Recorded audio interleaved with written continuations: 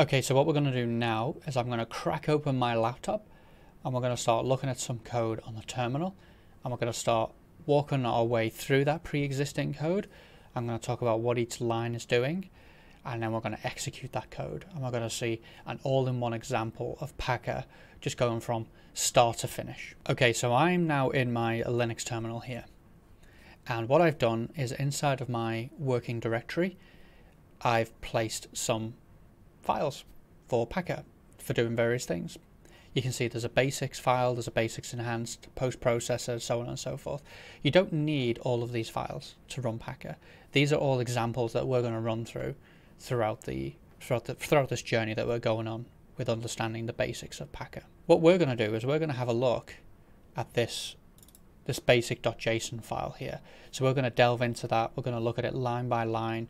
We're going to come to an understanding of what's happening on a, on a line by line basis and then we're going to execute that file against my AWS account. And what we'll see is a very simple, very basic Amazon machine image being created for us by Packer. Okay, so what we've got here is the basic.json file. So this is a Packer template. It's a it's a JSON file. That's how Packer templates are currently being written.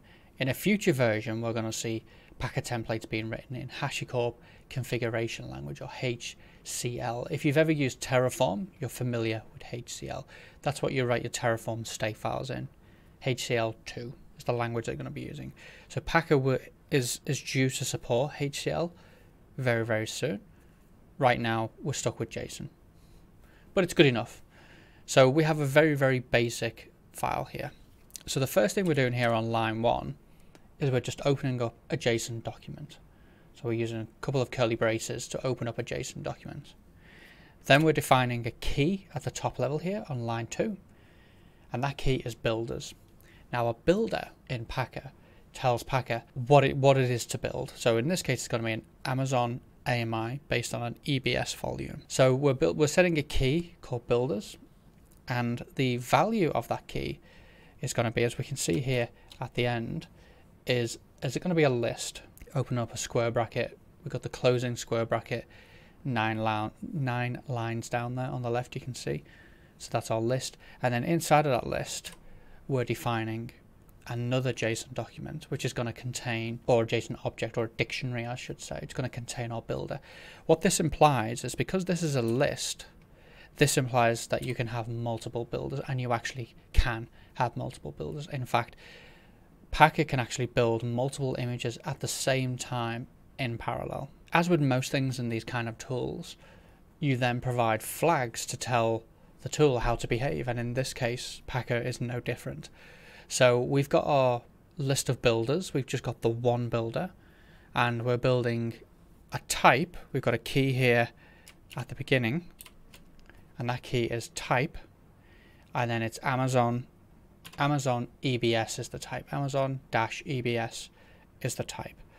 So that tells Packer what type of builder we want to use and therefore what type of image we want to produce. A little bit further down here, we've got the region now. This is clearly the AWS region that we want to build the image inside of. And in this case, we've got AP Southeast 2, which is Sydney, Australia. A little bit further down, now this is more, this is a very interesting flag. This is the source AMI flag. And as you can see here, we're providing it with an AMI ID. So when you're building an AMI with Packer, you need you need first, you need an initial AMI from which to build. It's like the kind of the very it's like the chicken and the egg. What comes first? Well, in this case, Amazon has provided you with the egg, and it's these pre-built, fully managed AMI images this, in this case, this is Ubuntu 1804, 64-bit. And we're going to build on top of that AMI with our own AMI. So we're going to build an AMI from an existing AMI by building on top of it, updating it, installing additional software, and so on and so forth. So this flag is very important. Then we've got the instance type, in this case it's T2 micro.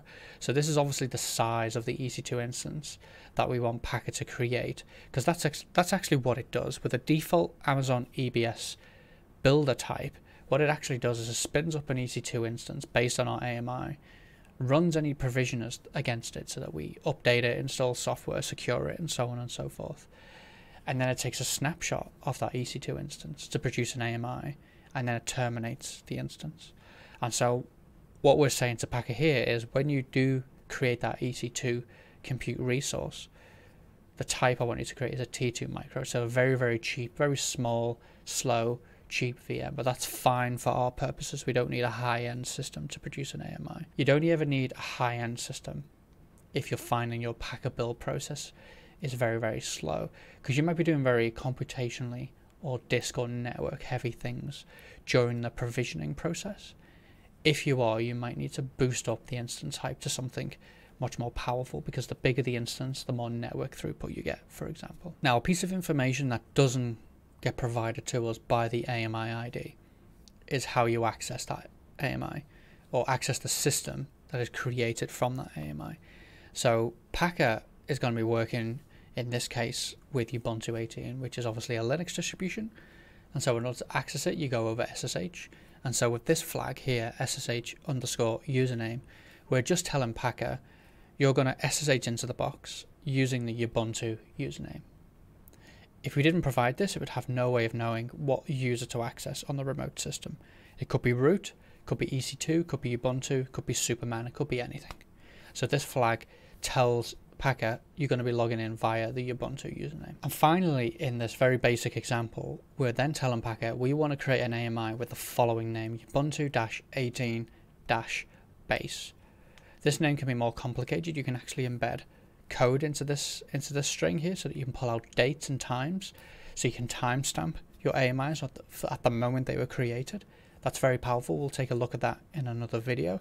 But for now, we're just going to go with this very simple static string and we'll see what happens if you try and recreate the image when one with the same name already already exists.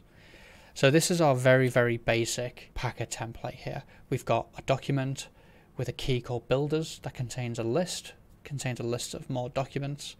We've set the flags on that builder. Then we've closed it with this final curly brace. We've ended our list here with the square brace. And then we've ended our document here with this curly brace. So now let's jump back into the terminal and let's execute this and see what happens.